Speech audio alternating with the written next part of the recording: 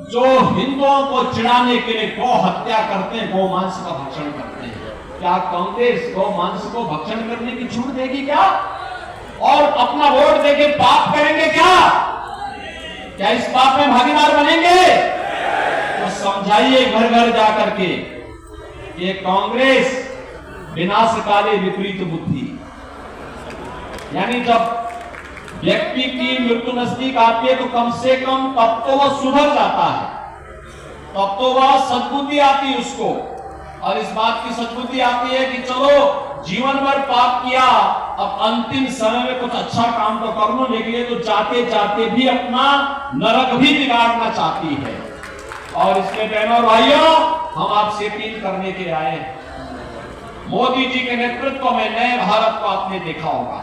और हमारा तो संकल्प होना चाहिए, जाके प्रिय राम वेदे ही तजिए ताही कोटि बैरी सब जद्यपि परम स्नेही।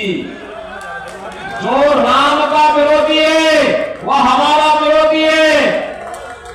चाहे वह हमारा सगा ही क्यों ना हो, अगर वह राम का विरोध कर रहा है उसके खिलाफ खड़े होंगे। कांग्रेस और सपा का तो ऐतिहासिक राम का विरोध करने का है है ना कहते थे राम हुए ही नहीं क्या कहते थे? कहते थे, राम हुए ही नहीं। क्या कहते थे? कि अयोध्या में कोई परिंदा भी नहीं पर मार सकता। और आज जब अयोध्या में रामलला विराजमान हो गए तो अब ये इनके स्वर बदल गए कहते राम तो सबके हैं। तो घोड़ा के लोगों का है। भाइयों इन पे कभी विश्वास मत करना। कभी विश्वास मत करना। तीसरा कांग्रेस जो इंडी गठबंधन का सबसे बड़ा भागीदार है इसका घोषणा पत्र देखो। वो क्या कहता है? का जगह याद है नहीं है, अगर कांग्रेस नेतृत्व की सरकार बन गई जिसमें समाजवादी पार्टी भी ढोल बजाने का काम करेगी तो इंडी गठबंधन क्या करेगी? अल्पसंख्यकों की रुचि के अनुसार खान पान की पूरी स्वतंत्रता देगी। बहनों भाइयों में जानने का मैं पूछना चाहता हूँ ये अल्पसंख्यकों की रुचि के अनुसार खान पान क्या होता? अरे सामान्यतः सारी भोजन तो वही है जो बहुसंख्यक खाता, वही अल्पसंख्यक भी खाता है। केवल एक जगह में खटपट है, और वह है इस देश का बहुसंख्यक, इस देश का बड़ी आबादी। गरीब के मकान बन गए, और मोदी जी ने तो ये भी कहा है कि चार करोड़ गरीबों के मकान बने हैं।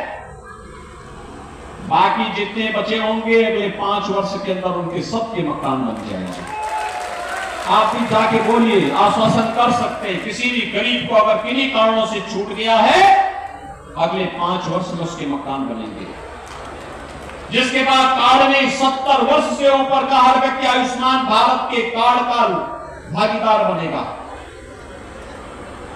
जिसके बाद राशन कार्ड नहीं हंड्रेड परसेंट राशन कार्ड, जिसके घर में कोई रोज़गार नहीं उसको हंड्रेड परसेंट रोज़गार की व्यवस्था ये सरकार कराने की व्यवस्था करने जा रही है। और भाइयों, सुरक्षा भी है, सम्मान भी है, विकास भी है, और गरीब कल्याण भी है।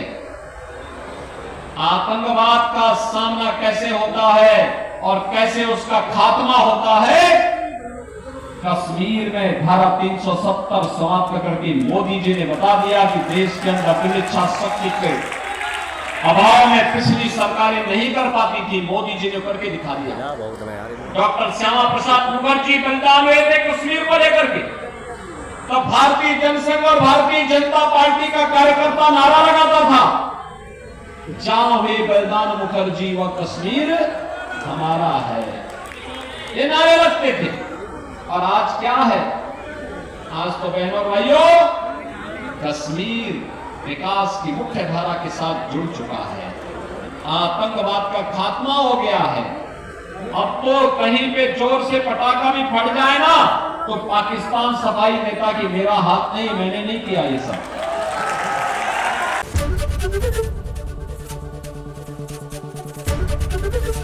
एबीपी गंगा, खबर आपकी जुबा आपकी।